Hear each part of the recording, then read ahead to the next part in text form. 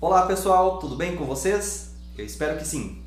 O vídeo de hoje é para te ajudar, te ensinar de maneira prática e de um jeito que você não vai mais esquecer onde está a nota Dó, Ré, Mi, Fá e assim por diante no teu acordeon. Então você que tem um acordeon de 120 baixos, 80, 48, 12, 24, 8, enfim, não importa. A ordem das notas em todos os acordeões é igual. Então, bora lá, sem enrolação, vamos direto ao assunto. Então, nota que a gente tem as notinhas pretas, né? Vou falar de um jeito mais, mais prático, assim, depois a gente vai, vai ser um pouquinho mais teórico, mais de um jeito bem prático de todos entender. Então, a gente tem as notinhas pretas aqui, né?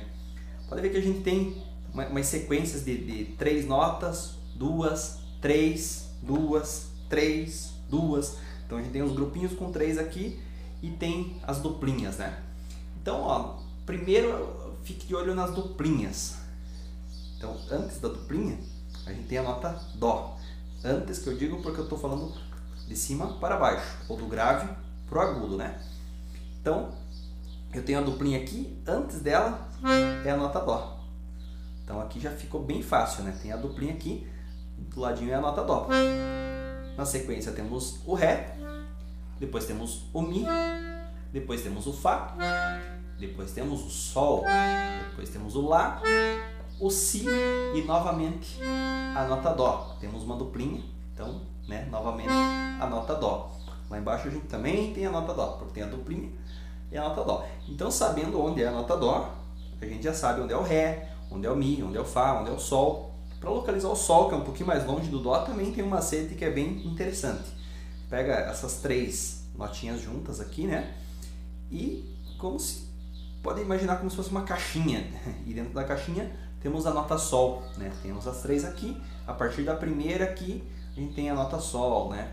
Mas enfim, a partir do Dó não tem erro.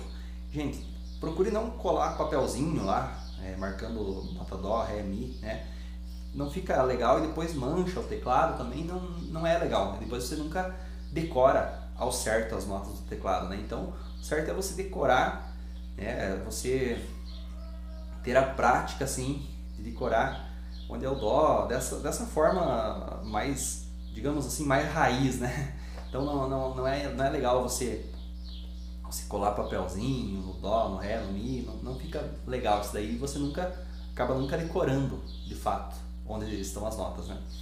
Então, agora os sustenidos e bemol, né? É uma dúvida muita gente tem o que é o sustenido, o que é o bemol, né? Muita gente já, já fala, ah, não, é, sustenido são as pretas, né? Até quem não toca já imagina, ah, sustenido são as, as teclinhas pretas e tal.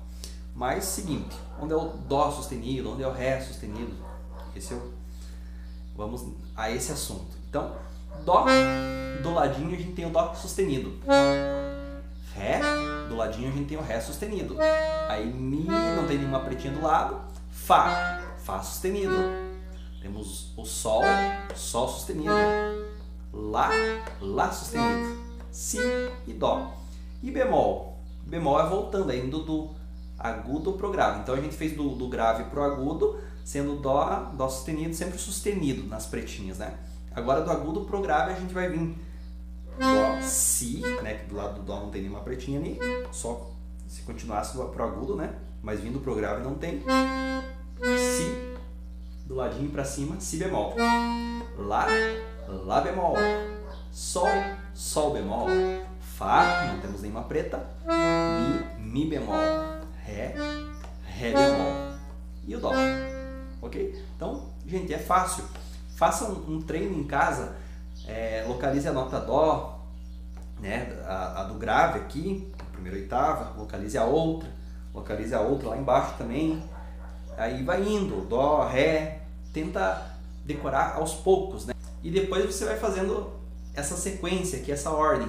Dó, ré, mi, fá, sol, fá, mi, ré, dó. Tocando a nota e falando o nome junto, isso ajuda bastante.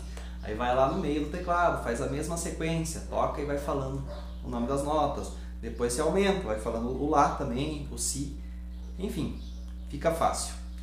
Então, pessoal, se inscreva, quem não é inscrito ainda no meu canal, curta, deixa lá o teu joinha, Se quer mais algum vídeo com dicas, de repente uma dica de como localizar os baixos, tá joia? Então, pessoal, até o próximo vídeo. Fiquem todos com Deus.